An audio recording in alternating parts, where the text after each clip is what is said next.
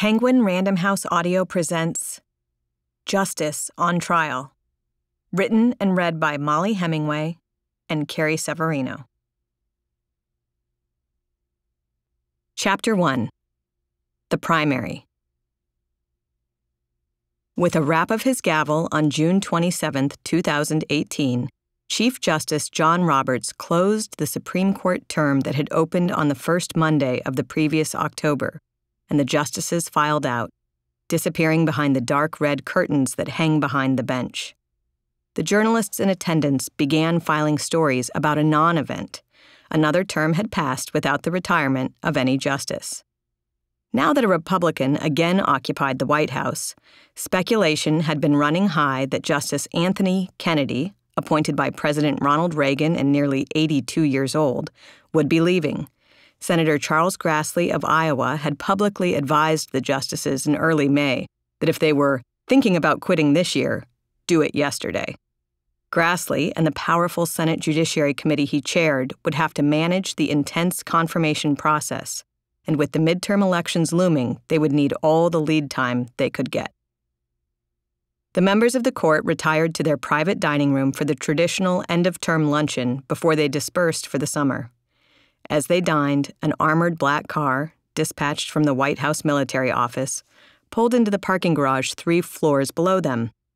After his meal, Justice Kennedy got into the car where Don McGahn, the White House counsel, was waiting to take him to a meeting with President Trump.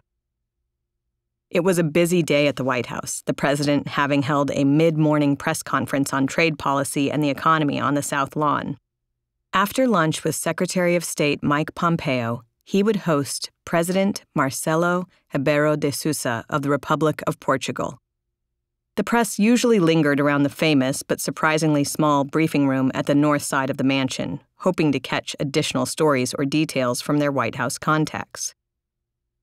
The day before, Steve Engel, the head of the Justice Department's Office of Legal Counsel, had told McGahn's trusted chief of staff, Annie Donaldson, that he had just had a meeting with his old boss and needed to talk to McGahn. It took a minute for the significance of what he'd said to register. Engel's old boss was Anthony Kennedy. He'd clerked for him at the Supreme Court in 2001 to 2002, and they had remained close. Engel and Kennedy had met two days before the end of the term at an outdoor cafe near the National Gallery of Art's Sculpture Garden. Kennedy had slipped away from a tour of the museum with his clerks to meet Engel, hoping the location was discreet enough to avoid wandering members of the press. After the justice's security detail evaluated the cafe for threats, he sat down with Engel and explained that he expected to announce his retirement in the next few days. He wanted to tell his fellow justices immediately after their final sitting on Wednesday, but knew the odds were good that the news would leak shortly thereafter. Hoping to deliver the message to the president in person before it went public, Kennedy wanted Engel to ask McGahn to arrange a meeting without anyone's noticing. Later that day, Engel called the White House counsel's office and asked about the president's schedule. The two offices spoke frequently, so the question didn't arouse suspicion. He was told the president was leaving for the Midwest on Wednesday evening, so the meeting would need to happen before then. The next day, Kennedy gave Engel the green light, and the White House counsel's office quietly arranged the meeting through Jeffrey Minear, counsel to Chief Justice Roberts. A White House car with a pre cleared driver would make the entry into the White House quick and easy. Chief of Staff John Kelly arranged for President Trump to leave his lunch promptly at 1 o'clock and come to the White House residence, where the justice would be waiting with McGahn. That morning, none of the other associate justices knew that Kennedy was stepping down. The scholarly Californian, known as a swing vote on the court, had hired four clerks for the coming year, and had discussed cases coming up in the next term. When the term ended with no announcement from the bench, the justices proceeded to their stately paneled conference room for one final discussion. While the nine justices often disagree sharply about the issues before the court, they know they are working together for life, so they go out of their way to be friendly to one another. But the last conference of each term tends to be a bit testier, the most contentious decisions are usually released in the final days of the term, justices sometimes reading their fiery dissents from the bench, and the 2017 to 2018 term ended with its share of high profile 5 to 4 decisions on such hotly debated subjects as abortion and immigration.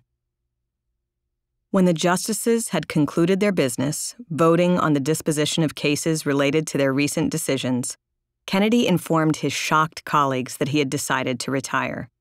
He asked them not to tell anyone until 2 o'clock so he could speak with the president privately.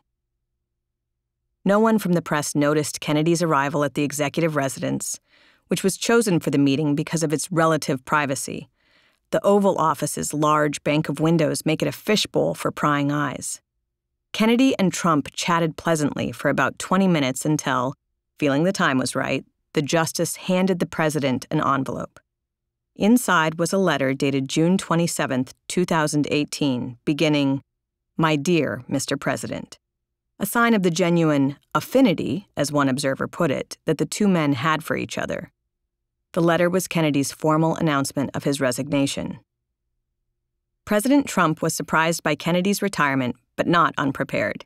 He had heard rumors the previous year that after more than 40 years as a federal judge, Kennedy was thinking about a change. His judicial nominations team wanted to reassure the justice, without applying pressure, that his legacy would be in good hands if he retired. Kennedy was disliked by many conservatives for his opinions redefining marriage and upholding Roe v. Wade. But many conservatives simultaneously supported his approach to federalism and the First Amendment, particularly as it concerns free speech. The White House indicated to him that his record would be treated respectfully and that his successor's confirmation battle would not be a referendum on his tenure. When the White House got word that Kennedy was displeased one of its nominees for an obscure federal court had called him a judicial prostitute, the nomination was allowed to expire. The stature of a justice is measured not only by the influence of his legal opinions, but also by the careers and reputations of the clerks he has handpicked and mentored. The White House had sought Kennedy's opinion about his former clerks who were under consideration for the federal judiciary and had nominated several of them to prestigious appeals courts. Most flattering of all, Trump had chosen one of Kennedy's star former clerks, Neil Gorsuch, to join him on the Supreme Court one year earlier. In his letter to the president, Kennedy said that on July 31st, he would assume senior status, a semi retirement that would enable him to continue to serve in a reduced capacity in the lower federal courts. But his days on the high court would be over. Having informed the president privately of his retirement, Kennedy returned to the Supreme Court building, no one the wiser as to what had just taken place. The biggest secret in town had remained a secret until the end. Justice Kennedy was retiring on his terms. The news was then released, and it rocked Washington. Conservatives were elated at the opportunity to replace Kennedy with another Trump appointee when a group of Republican senators, including the Majority Leader Mitch McConnell of Kentucky, heard the news at a lunch, they looked up at each other and smiled. Not only would this be an opportunity to strengthen the court, but in a midterm election year, a nomination fight could excite conservative voters and remind them of the importance of keeping control of the Senate. Senator Grassley, already mic'd up for his weekly conference call with Iowa reporters, heard the news while on air Afterward, he told his staff, I guess we're going to do this. News of Kennedy's retirement touched off a minor media maelstrom. Abortion will be illegal in 20 states in 18 months, CNN's chief legal analyst Jeffrey Toobin tweeted. Other outlets entertained even crazier possibilities. The New York Times noted that Kennedy's son worked for Deutsche Bank, the same bank that had provided the Trump organization more than $1 billion in real estate loans. There was no reason to think that President Trump's acquaintance with Kennedy's son was nefarious, but the Times report launched all manner of conspiracy theories. Neera Tanden, the president of the influential liberal think tank Center for American Progress, tweeted Just to state this Justice Kennedy's son gave a billion dollar loan to Trump when no one would give him a dime, and Justice Kennedy has been ruling in favor of the Trump administration position for two years as the court decides 5 4 case after 5 4 case. Why a Deutsche Bank loan to Trump would make Kennedy beholden to the president rather than the other way around was never explained, but Tanden's theory was retweeted 21,000 times. Both the Washington Post and PolitiFact eventually ran fact checks that debunked the supposed conspiracy between Kennedy and Trump. When Kennedy's retirement was announced at a Democratic National Committee meeting, participants gasped and expressed concern because of his liberal rulings on abortion and same sex marriage. We hope you enjoyed this preview. To continue listening to this audiobook on Google Play Books, use the link in the video description.